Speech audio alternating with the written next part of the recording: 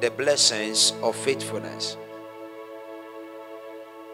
In a world like us, where everybody is trying to do their own thing, where people are more conscious of themselves than God, where people think of more of themselves than God, faithfulness is scarce. Even Jesus, Jesus was talking to the church as at that time, and Jesus said to them, He said, When the Son of Man cometh, will he still find faith? Will he still meet faithful men and faithful women? He says it's going to come to a point where faithful men and faithful women will be scarce. And that is one of the sign of the last days. Where the Bible says, He said, Men shall be lovers of themselves. Men shall be lovers of themselves. Men will be more concerned about themselves. And because of that, a lot of people's love for God are getting colder. They are experiencing what we call lukewarmness, where their heart is being drifted from God to the world. I have said it before, and let me say it tonight again. The time we are in is a time where you truly know those that are genuinely following God. The season we are in is a season where God will be separating the shaft from the wheat. It's a season where the love of many will be defined. It's a season where people lose interest for the things of God. And let me say something to us. It has been prophesied in the Bible days. It said, In the last days, it said, The love of many, not some. How many? Many shall wax cold. The word was cold simply talks about that it shall go down. It said, Men shall be lovers of themselves in the last days. And that is why, by the help of the Holy Spirit tonight, I want us to consider a topic that I strongly believe in my heart is going to be of blessing and help to us.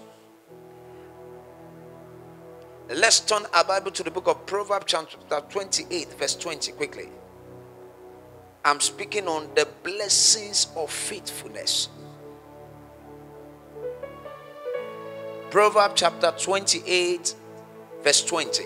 Listen to this. A wise man said, Faithfulness at your current level is what will qualify you for promotion to the next level. Faithfulness at your current level is what qualifies you for promotion to the next level. That is, we are praying, Lord, promote me. Promote me financially. Promote me in business. Promote me in health. Promote me in life. The question that God will pose to you is Have you been faithful at your level? It is the current level. How you are faithful at that level is what will determine if God will consider you for promotion. Promotion is a dimension of reward. And that reward comes from genuine faithfulness. I'm not talking about faithfulness. There are many people that are faithful but not faithful. Proverbs chapter 28, verse 20. Quickly, let's read the place. A faithful man shall abound with what? Blessings. But he that maketh haste to be rich shall not be innocent. God is always going to churches checking for faithful men. Now, where we read said, a faithful man we are bound with blessings. With what? Talk to me. With what? But he that maketh haste to be rich shall not be innocent. One of the reasons why people refuse taking responsibility to be faithful is because of quick arrival. Many people are too conscious of self. I want this, I want this. And because they are too conscious of self, the Bible said they will not be innocent. I want you to understand tonight that faithfulness is one of the most rewarding virtue on earth. The most rewarding virtue on earth is faithfulness. Faithfulness will take an ordinary man that is nothing and position him in the corridor of honor. Faithfulness. I will show you from Bible how faithfulness lifted men from nothing to become something. Receive grace to be faithful. I thought you say better, amen.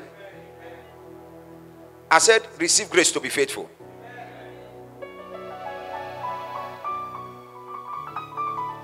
Now, let me say something to you. One of the most cast commodity in church is faithfulness. You can see a church of 200 people. People that are faithful, they are not up to five. Like I said, this is a season where you know those that are genuinely faithful. I was talking to a friend that said, This coronavirus of a thing, it will blow some people away from God. Why? Because their heart was not with God at the first place. Their heart was not with who? At the first what? Place. Faithfulness. There is nothing people are going through in the world today that people haven't gone through. There is nothing. Even there was a generation that went through more difficult times than now, where people were eating their children. Two women agreed to eat their children. One ate his own, brought his own. There was a generation like that. But in the midst of that generation, there were still men that were faithful to God. Faithful to who? To God. That is, faithfulness is a scarce commodity. Very scarce. That's why Jesus speaking. He said, A faithful man who can find. One of the places where the Bible recommend finding is it was talking about wife. He said, He that findeth a wife, findeth what? A good thing. And it is not just a wife, a virtuous woman. Now, he was not talking about faithfulness. He said, faithfulness. Who can find it? That is scarce, is rare. In this generation, faithfulness is rare. I wrote something here. Listen to this. Faithfulness has become one of the rarest and scarcest virtues on earth today. It is so scarce that the Bible says in Proverbs 26. Let's read Proverbs 26. Most men we proclaim everyone his own goodness, but a faithful man who can what? Who can find? That is, it's not cheap to come by. A faithful man who can find. That also is applicable to a woman, a faithful woman who can find. See, in the fair of faithfulness, no matter what a church go through, faithful men are never moved. I want you to understand that. No matter the, what a church go through, faithful men are never what? Moved. Faithful men always finish the race. Unfaithful men always drop on the roadside. Because God never said to us that the journey will be rosy. He now said, when you go through the fire, I will what? Be with you. When you go through river, it will not overflow thee. That is, that established the fact that in our Christian journey, there will be seasons of turbulence. But what keeps us together is faithfulness. Is what?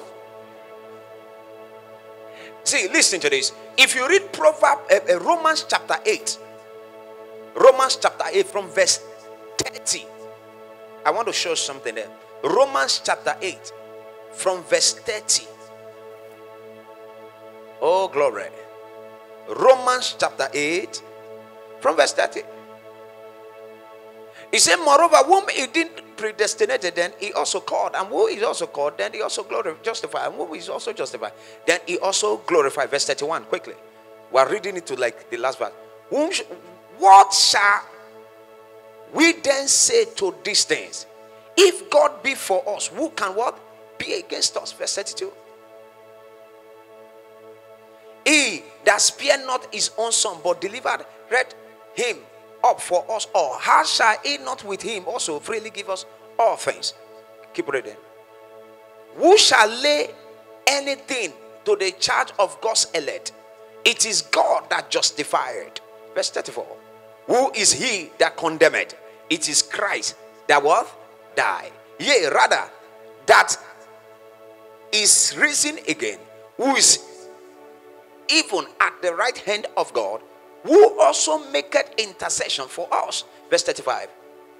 Who shall separate us from what? The love of Christ. Shall tribulation, or distress, or persecution, or famine, or nakedness, or peril, or sword. You see, that was Paul speaking. Paul was telling us his experiences. Now, he now went further to say, He said, Who shall separate us from the love of Christ? Shall tribulation, shall distress, shall persecution, shall famine, shall nakedness, or peril, or sword? Verse 36. As it is written, For thy sake we are killed all day long. We are counted as sheep for the slaughter. Verse 37. Nay, in all these things, we are what? More than a conqueror. Through him that loveth what? Us. That is, Paul went through a lot. He went through famine. He went through persecution. He went through scandal. He went through all manner of discomfort, atmosphere, situations.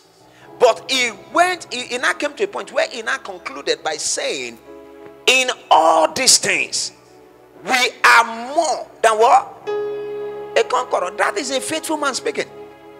For Paul was so faithful that he got to a point that we're prophesying is dead. Paul was so faithful to God that he got to a point that we're prophesying is dead. That if he keep preaching, if he go to a particular town to preach, that he's going to die. After the guy finished prophesying, Prophet Agabus, Paul told him, he said, The same place you said I shouldn't go, that's where I'm going. Hello? That's what? That's where I'm going. He was so faithful by just being committed to God. Do you know what that established? It established the fact that being committed and faithful to God gives you an edge. You can't compare a man that is 105% loyal to God with a man that is just playing church. This season, I now discovered people playing church in this lighthouse. I'm telling you. He said, What shall separate us from the love of God?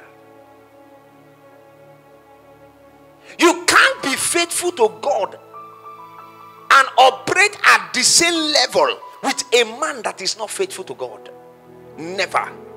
It will be an injustice to the order of God to reward you the same. And God is a just God. Faithfulness. So much faithfulness. Shout it louder. That is, God is calling us into faithfulness. In the Bible days, there were men that were extremely faithful and they stood out.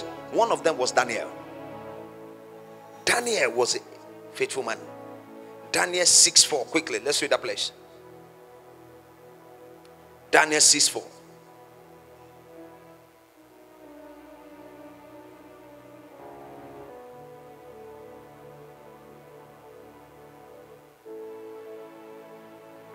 6 4. Let's read. Then the president and the priest sought to found occasion against Daniel concerning the kingdom, but they couldn't found none occasion nor fault. For as much as he was faithful, as much as he was what? He was faithful. Neither was there any error or fault found in him. As far he was faithful, as much as he was faithful, Daniel was so faithful that they could not find any fault in him. Faithfulness. It is not hustling that, that puts you on top, it's faithfulness. It's not struggling that puts you on top, it's faithfulness. God has a way. God can put your name in the heart of a man. Just a contact will set you for life. Faithfulness. Faithfulness. We're in a generation where men are no longer faithful. Daniel became so faithful that he rise to become a major man in his time by being faithful to God. Now, listen, look at how this thing played out in the time of Daniel. He was faithful to a point that he could not deny his God. Many Christians have denied God in the name of struggling, in the name of hustling. Situations will come up to prove where your heart is situations. Situations. Now, quickly, what then is faithfulness? I'll give you like one or two definitions. Faithfulness equals undivided loyalty and attention towards God and man. I come again. Faithfulness is undivided loyalty and attention towards God and man. That is, inside faithfulness is loyalty, is an undivided loyalty towards God and man. You can't say you are loyal to God and you are not loyal to man. The two works together. Undivided attention. Not that your leg, one leg in, one leg out. They can't predict if you will be there. They just know that you are there. They just know that you are consistent. Somebody say undivided attention. Say it louder. Say like a Christian. Two, let me give you another definition. What is faithfulness? Faithfulness is the absolute and unwavering commitment. Mark that word. Absolute and unwavering commitment to God and man. On this note, you must make a personal decision to be faithful in all in your dealings with your fellow men or God. Now listen. Undivided. Someone say undivided. Say it louder. Undivided. Three. Let me give the last one. We move on. Faithfulness equals consistency of character, it equals trustworthiness and dependability. Lastly, faithfulness means performing to expectation. There are people you can't trust. There are people you can't depend on. They are not faithful. Brother X, you are the one doing something today. You won't see them in church. They are not dependable. Nobody rise into leadership without faithfulness. Faithfulness is the ladder that takes you up. You might start small, but faithfulness will take you there. Faithfulness is the ladder that takes you up, sir. It's not charisma, it's not grammar, it's faithfulness. It says, See that a man. Eh? That is faithfulness. And I said, Don't despise the days of little beginning. A faithful man in a little thing will become will still become great. A faithful man with a little business, a faithful man in a place in church will still become the head. You don't fight for position, you just become faithful and become the head. When you fight for position and you gain it, very soon you lose it.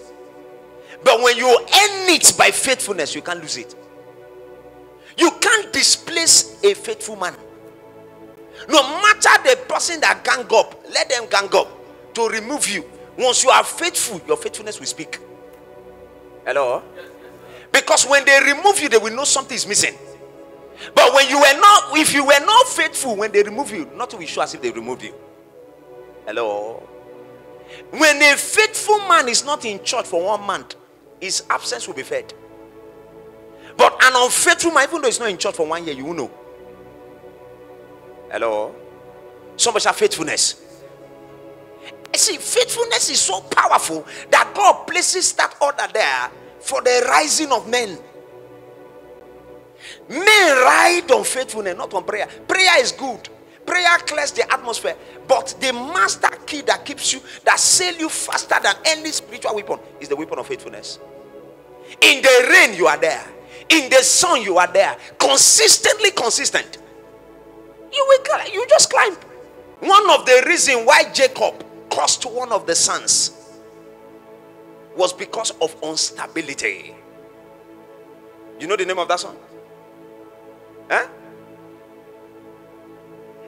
He said, he said, You are the, the excellency of my strength, my firstborn. After praising the guy, after giving him accolades, called him all sort of name, the end, he garnished everything with curse. He said, You shall not succeed, you shall not do well because you are unstable. You are what? Unstable. Unstable people are not faithful people. See, listen to when you go to a church as at this time where they are faithful men, even though church members you are not there, you will see all the leaders. This is the best time any smart pastor knows those that are faithful. It's not when all the system, everything is working well. This is the best time where the economy is not normal. Because an unfaithful person goes with the trend. Because the economy is not normal, I will act on normal. Am I speaking to a church here? Faithfulness. Great ministries is built on the shoulders of faithful men. On, faith, on the shoulders of faithful men. Not on the shoulders of faithful men. On the shoulders of faithful men, sir. Men that are loyal. Men that are not moved by side talks. Because any ministry that is rising, there must be side talks. Hello? Now, the side talks is good for the ministry. Do you know why? The side talks help the pastor to remove the unfaithful people. That's what the side talk does. Because it's more dangerous to carry on rebels and the church is growing and there when you get to the top you will crash everything. But when the work is growing and there is constant filtration it shows the work is healthy. That is some people leaving church is not a sign of weakness it's a sign of strength being at work. Am i speaking to somebody here? I understood that on time. That is why no matter who leaves this church doesn't affect the church Because the Bible talked about sons. He said, A son will abide in the house forever. A true son doesn't leave the house. A true son. He said, A son. That, that talks to daughters too. He said, A son abide in the house forever. Not that today you are hot, tomorrow you are cold, you are like wind, you are like this. No, no, no, no, no. You are consistent. Be blessed. I thought you said better, amen. amen. I said, be blessed. Amen. Now, quickly, what are the reward of faithfulness? How does faithfulness reward a man? What are the blessings that faithfulness brings? One, faithfulness brings what called divine pleasant or divine surprises divine surprises. Two, faithfulness places you in the corridor of authority. Anyone who is faithful must be positioned in authority. Just like in the case of Joseph, the son of Jacob. Now let's read Genesis chapter 39, verse 4 to 6. Genesis 39. I want us to see that place. It was talking about Joseph. Genesis 39, 4 to 6. Genesis 39, 4 to 6. Thank you, Holy Spirit. Let's read. And Joseph found grace in his sight, and he served him and made him overseer over his house, and all that he had, he put into his hand. But before Joseph was made an overseer, Joseph was genuinely faithful. You still remember the story of Potiphar's wife when he came to Joseph, say, Lie with me. That is a test of faithfulness. Your master have traveled, lie with me.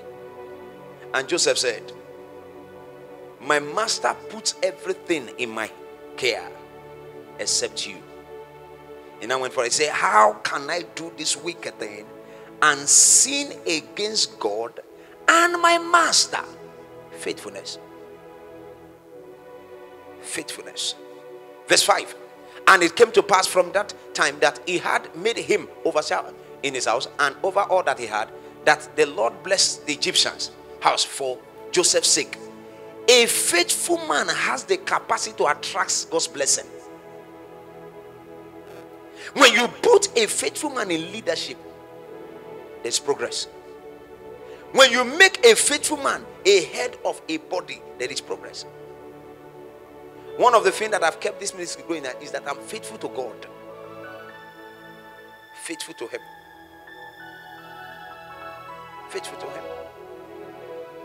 And the blessings of the Lord was upon all that He had in the house and in the field. Verse 6. Verse 6. And he left all that he had in Joseph's hand, and he knew not aught he had save the bread which he did eat. And Joseph was a goodly person and well favored. Faithfulness. Can, can you be entrusted with, with vital information? And you will keep it. Or you just know little things and everybody, your mouth will run.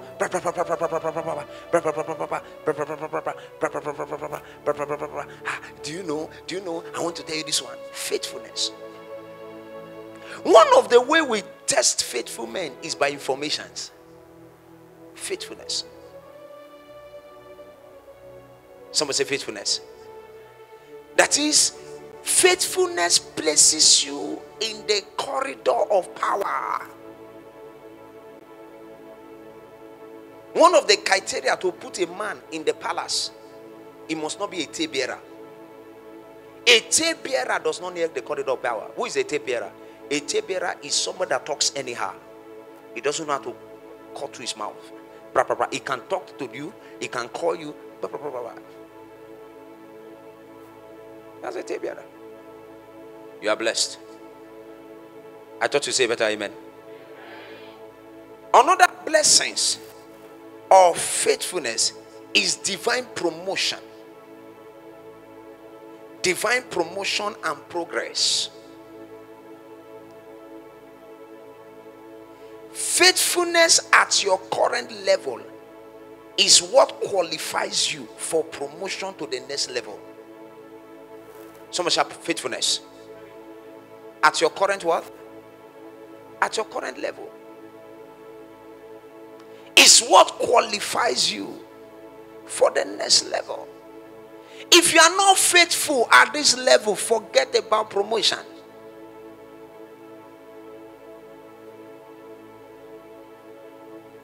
Faithfulness at your current at this current level. Are you faithful? Can you say you are faithful? Divine promotion. So much divine promotion. Every genuine faithful man is a candidate for promotion. Every genuine faithful man is a candidate for promotion. You know, I've said it before. You don't pray for promotion, just be faithful. That's where people are missing it. Oh God, promote me.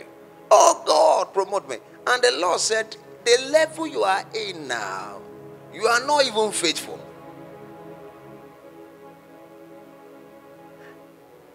Coronavirus, you didn't come to church. Is that faithfulness?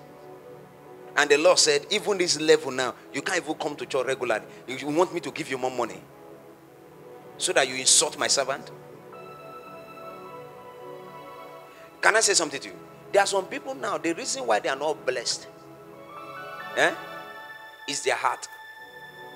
God knows that if He gives you more than what you have now, you can even insult pastor. You've not even gotten anything. You still in your closet, you think negative something about pastor. How will God bless you? Ah, this man is disturbing too much. This man said to this. God say, he might not hear, but I hear. He might not hear, but I what? I hear. Stay for that your 100,000, 200,000. That one and they keep you normal.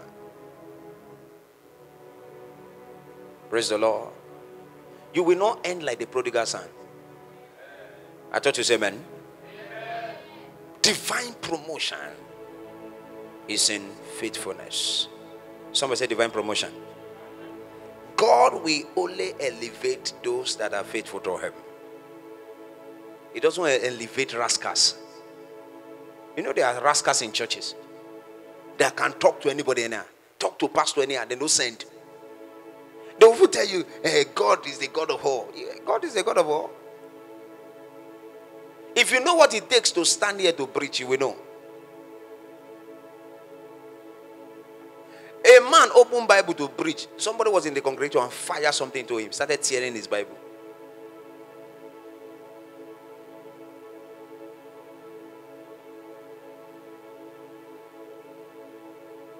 See, do you know why you need to honor your pastor? Walk with your pastor.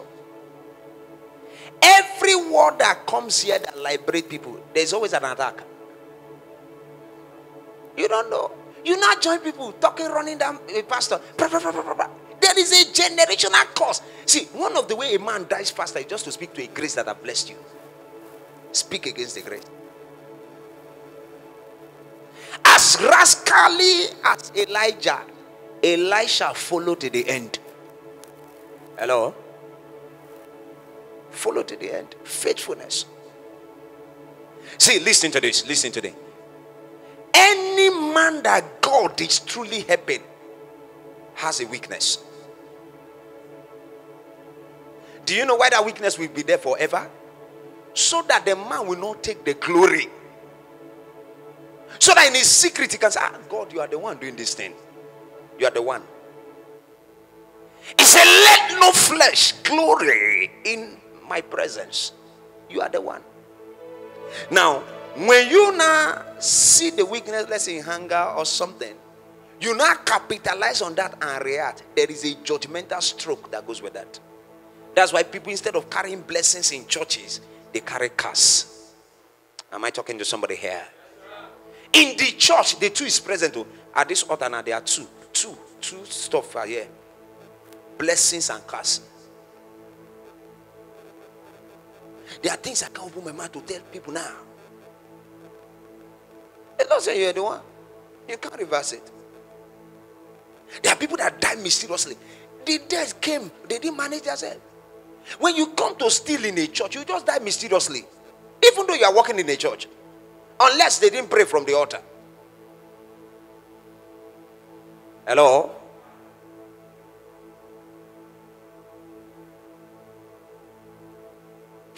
Faithfulness. Somebody say faithfulness. See, if you want to know, Mama, if you want to know the what pastor is all about, just walk around town. You you see pastors that are under, they are suffering. That when you're under a church and you see grace, just know God is working sometime. Be faithful. Can I shock you? If you are faithful to this grace, you must be blessed. I am sent. I know I'm saying. I know. See, I know what I'm saying. Can I say something to you? A friend was talking to me, sir, this afternoon. He said, he said, he said, Are you sure lighters members know what they have? I said, What do you mean? He said, The way you walk, if you walk like that in a secular firm, you can't be a poor man. I said, Serious? He said, Yes. He said, You're a worker. We grew up together. I'm a worker. I know that. They were working on my office. I was telling Frank, I said, Penty tonight. Penty tonight. I don't want us to. I, tomorrow is we have to do something else. That my friend was not talking to me. He said, if you walk in a secular field like that, you can't be a poor man.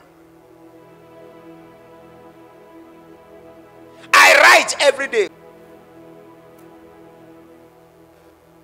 If you are faithful to this grace, I'm not saying I'm perfect, oh, but there's a perfect grace here that you can enjoy when you are genuinely faithful.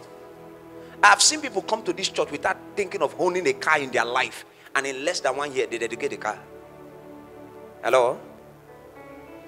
One of my uh, daughters, sit down. One of my daughter came to tell my wife on Sunday, say we are already roofing our building. Roofing. House that we went to pray for January. In less than five months. From church. Oh. If these those people want to buy a car, can they buy a car? There is a grace here faithfulness. You see, one of the reasons why people become unfaithful is a worker in church. Your best friend is a boy that drinks at the park, drinks at the car wash, smoke. When you are there, you'll be saying nonsense about the church. Before you know, your faith about the church will be going down. Hello? You that used to be vibrant for church, your church, your, your faith will be going down. Because your best friend is somebody that always insult pastors. Is somebody that always insult church. The reasons why you see some people don't come to church because of this lockdown, they have listened to stupid talks online. Some of their friends say, What's the essence of going to church? Ah! Coming to church is a command. Is what? A command. It's a command. By God. You hear people say God is everywhere. True, God is everywhere. You are everywhere, but you are more real in your house. Am I right? There are some kind of stuff you want to give to somebody. You tell them, meet me in the house. Am I right?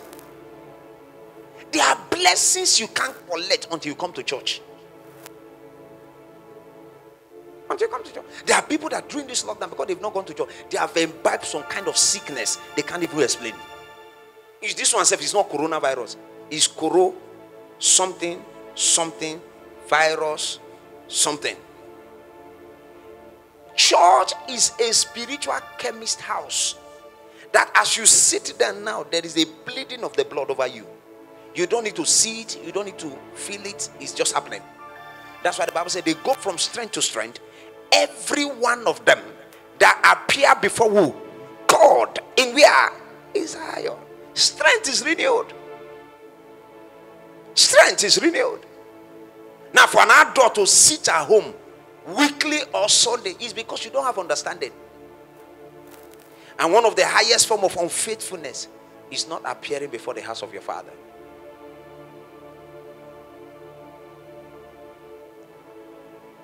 You now, you now, you have 10 sons, and all of them scatter different places. They don't come to the house as a heavenly father. How will you feel? Huh? God is not happy that the church is scattered. You think God is happy? God is not happy. Be faithful to Him. And faithfulness starts from little, little things. There are people that are not tithers. You are not faithful. You eat your tithe. If because of lockdown, you are not faithful. They will see you in church today, they won't see you tomorrow. You are not faithful. Somebody say faithfulness. Say it louder. Shout it louder. Rise up on your feet. Lift up your two hands to heaven. Go ahead and pray in the spirit right now. You are here, moving in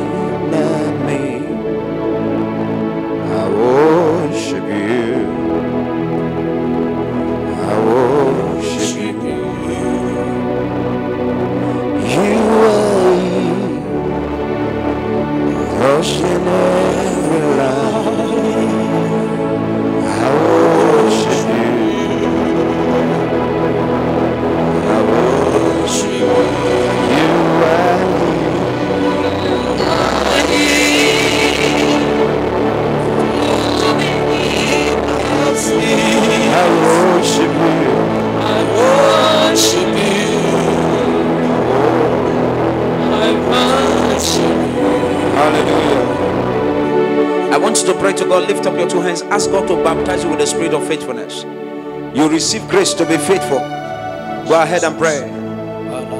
Receive grace to be faithful. I receive grace to be faithful. Shala